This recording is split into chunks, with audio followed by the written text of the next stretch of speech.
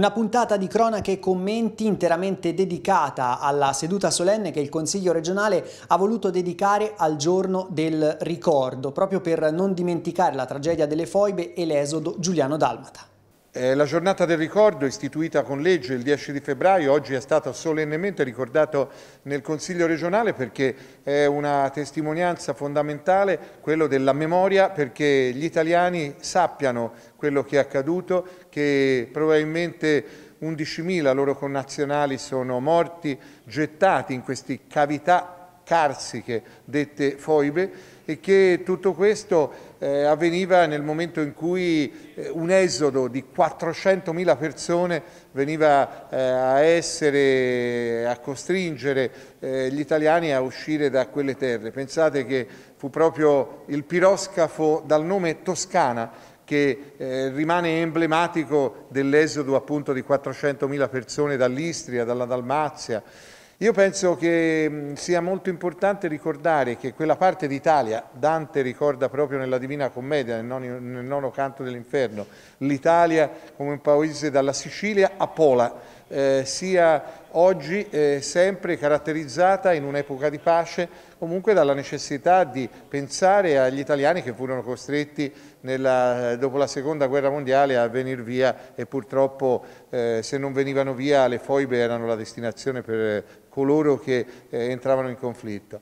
Penso che sia bello però ricordare anche i momenti in cui nei campi profughi che furono in modo molto rapido d'emergenza allestiti eh, furono il presupposto di un'integrazione che poi nella gran parte dei casi vi è stata fra questi italiani che venivano dai confini nord-orientali. E devo dire che eh, noi stiamo pensando a un museo proprio a Laterina, il più grande campo profughi Istria-Dalmata che vi sia nella nostra Toscana, come il nostro pensiero a quello che fu come accoglienza eh, Calambrone, eh, naturalmente appunto la Terina che ho citato, ma anche le presenze nelle varie città toscane. Stamani un quotidiano riferiva dei mille profughi che si integrarono a Livorno. Il 10 febbraio perché proprio il 10 febbraio di 75 anni fa fu firmato l'accordo, il trattato di pace tra l'Italia e le altre forze alleate che poneva fine alla, alla guerra. Questo è il motivo per cui si ricordano eh, la tragedia, i crimini, gli orrori che tanti italiani subirono in quegli, in quegli anni e le atrocità della guerra, eh, l'odio eh, che ha segnato il Novecento non può passare inosservato, non ci si può eh, voltare dall'altra parte. C'è chi continua a dire eh, e vale per la Shoah, ma vale anche per le foibe, che tutto questo non è mai accaduto. Ecco, io penso che un'istituzione come la nostra non debba voltarsi dall'altra parte, debba ricordare perché quello che è accaduto non accada mai più. Io prendo in prestito le parole del Presidente Mattarella che lo scorso anno insieme al Presidente sloveno mano nella mano, la potenza di, di quel gesto, no? mano nella mano eh, ci ha mandato un messaggio forte che le sofferenze, i lutti, eh, lo sradicamento eh, sociale e culturale che avvenne in quel tempo non può essere dimenticato e oggi eh, qui faremo in Consiglio regionale esattamente questo, perché il, la memoria, il ricordo servono a fare in modo che quello che è accaduto non accada mai più.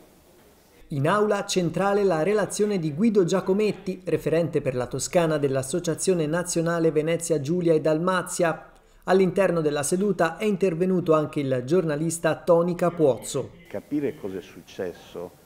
gli scontri tra i vari nazionalismi, mi ha colpito che eh, non mi pare un paio d'anni fa la Bulgaria ha detto di no perché ogni Stato europeo può, ha il diritto di veto per entrare nella comunità di altri paesi. Ha detto di no alla, alla Macedonia perché per, per, la Bulgaria il macedone non è una lingua ma è solo un dialetto bulgaro e poi all'interno hanno una zona di cosiddetti irridentisti che vorrebbero staccarsi a Bulgaria. Quindi questi problemi sotto traccia possono sempre venire finché finché si darà una versione nazionalista. I miei nonni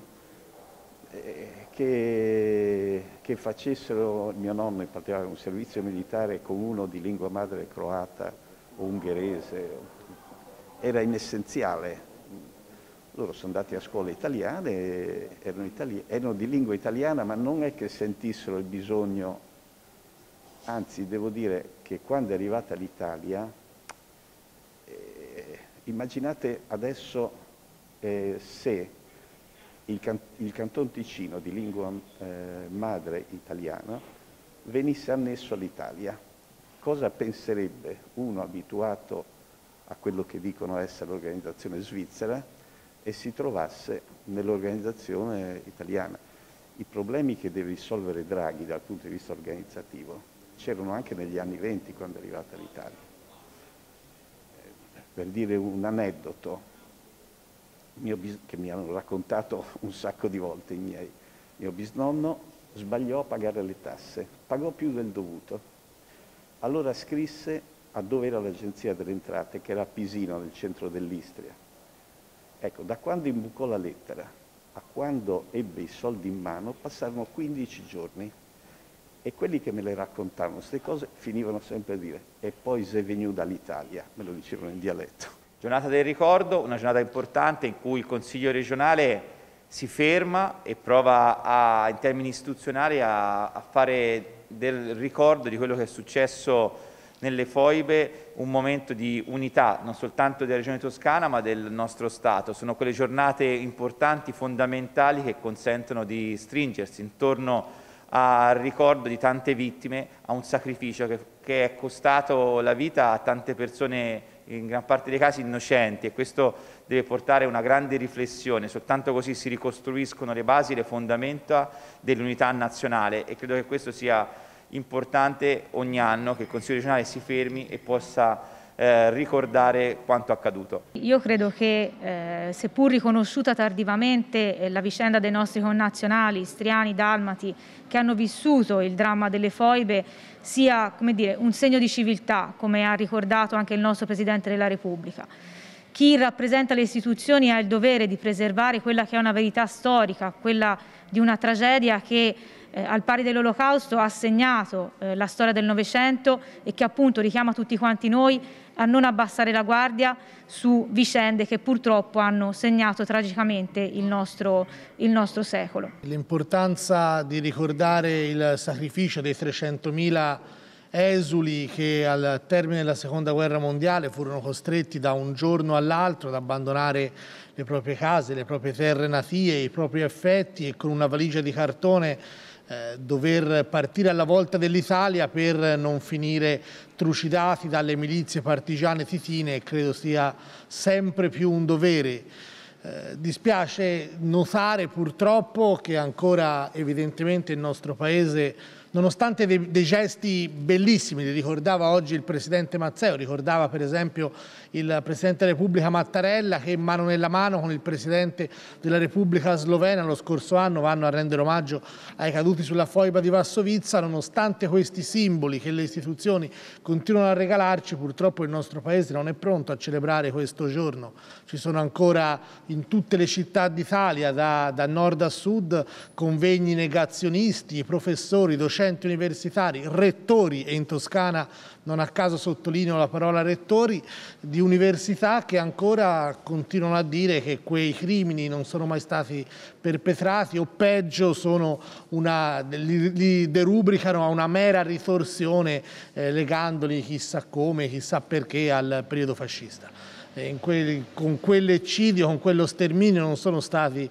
uccisi qualche fascista, sono stati uccisi decine di migliaia di cittadini italiani che col fascismo non avevano niente a che vedere, anzi spesso erano stati anche perseguitati dai regimi nazista. Il giorno del ricordo, così come la giornata della memoria, ci invitano alla riflessione di quelle che sono state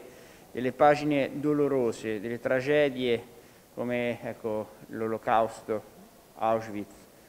e in questo caso quello che è stata la pagina ecco, delle foibe per eh, l'Istria e per troppi italiani. Noi dobbiamo concretizzare il ricordo. Ecco perché sono particolarmente contento di aver dato il mio contributo nell'indicare il nome del referente per la Toscana dell'Associazione Nazionale Giuliana, eh, Giuliano Dalmata, l'ingegner Giacometti, che ha ricordato bene quello che è stato il dramma eh, delle eh, foibe, il, dramma delle, degli esodi, il dramma di eh, quella che tutto è stato veramente una, un momento doloroso per eh, l'Istria e per questa parte che era d'Italia. Non dobbiamo dimenticarci, dobbiamo portare avanti il ricordo in modo concreto, ma soprattutto cercare di rendere eh, di fare sì che queste pagine possano essere veramente di tutti, perché troppo spesso ci dividiamo ancora su basi ideologiche e noi dobbiamo essere contro, fermamente contro chi fa del revisionismo, perché così come per eh, la memoria, anche per il ricordo, devono essere delle giornate di tutti. Leggo a volte eh, commenti, ma anche comunicati che non mi piacciono per niente. Ah, e questo lo devo dire con molta chiarezza. L'importanza è, è, indiscutibile anche perché per troppo tempo questa storia, questo momento doloroso è stato eh, oscurato, dimenticato, ignorato e anche quando è stata istituita la giornata del ricordo poi è stato un momento più di contrapposizione che di eh, riflessione eh, su quanto accaduto. Eh, l'importante sarebbe non dimenticare mai di nutrire umana pietà, cosa che eh, è sempre più difficile in questa società. Oggi abbiamo ascoltato parole non di contrapposizione ma di cordoglio, di sincero dolore e partecipazione e questo mi ha fatto veramente molto piacere perché anche nelle mie precedenti esperienze istituzionali non sempre è stato così. E, ehm, quindi sono contenta che finalmente si arrivi a una celebrazione molto più pacata e, e, sentita, come deve essere. Una giornata importantissima perché non era scontato fino a pochi anni fa, non era scontato in Toscana, per tanti versi non è scontato nemmeno oggi perché assistiamo a troppe eh, manifestazioni eh, che in qualche modo vorrebbero ancora mettere in dubbio o negare l'importanza di ricordare eh, la tragedia dei fratelli d'Italia vittime delle foibe, quelle migliaia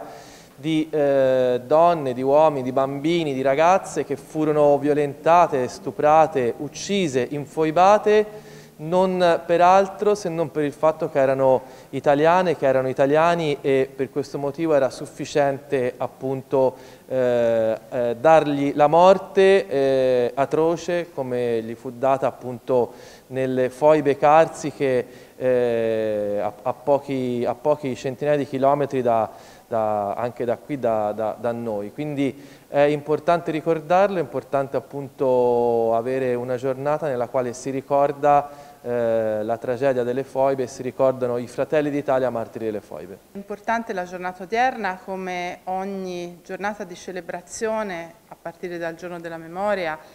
nelle giornate nelle quali si compie una riflessione attenta su quella che è stata la storia recente, sui pericoli che se dimenticata possono incorrere anche nell'attualità che viviamo. In particolare oggi devo dire abbiamo assistito a due interventi molto alti, molto interessanti di Toni Capozzo,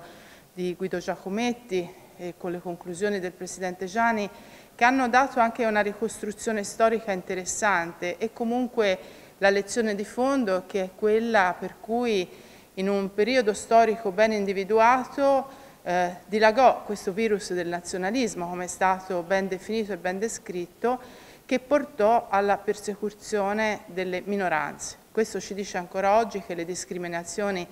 devono essere combattute. Sappiamo che ancora oggi in tante parti del mondo questi fenomeni e queste eh, operazioni assolutamente da contrastare comunque avvengono e quindi questo ci richiama anche una responsabilità quotidiana che sta sulle spalle di ciascuno di noi e questa è l'importanza di questi momenti nei quali viviamo il monito solenne del ruolo che ricopriamo ma anche della responsabilità che portiamo come cittadini nella nostra vita quotidiana. È tutto, questa era la nostra ultima intervista, grazie per la cortese attenzione, Cronache e Commenti torna la prossima settimana.